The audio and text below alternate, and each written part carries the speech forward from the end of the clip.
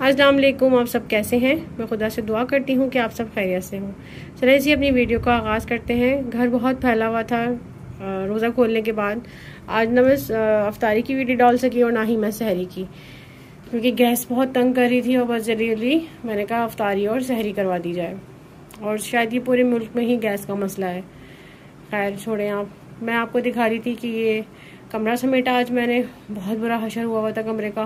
पहले नहीं दिखा पाई थी, क्योंकि रमज़ानों में बस ये होता है कि आप इबादत करें अपनी और अफ्तारी सहरी में लगे रहें। घर को थोड़ा सा जो है ना वो अफ्तारी के बाद ही देखना पड़ता हमें।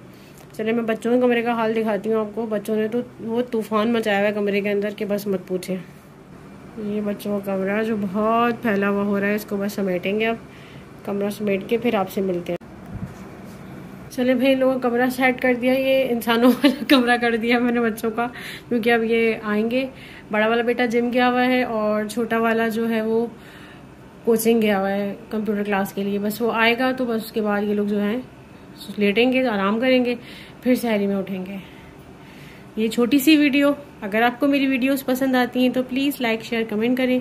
मेरे चैनल को सब्सक्राइब करें। मुझे आपके कमेंट्स का लाइक और शेयर का बहुत इंतज़ार रहता है। अल्लाह हाफिज़, कल मिलूँगी एक नए दिन के साथ, एक नई सुबह के साथ। अपना बहुत ज़्यादा ख्याल रखिएगा। Bye bye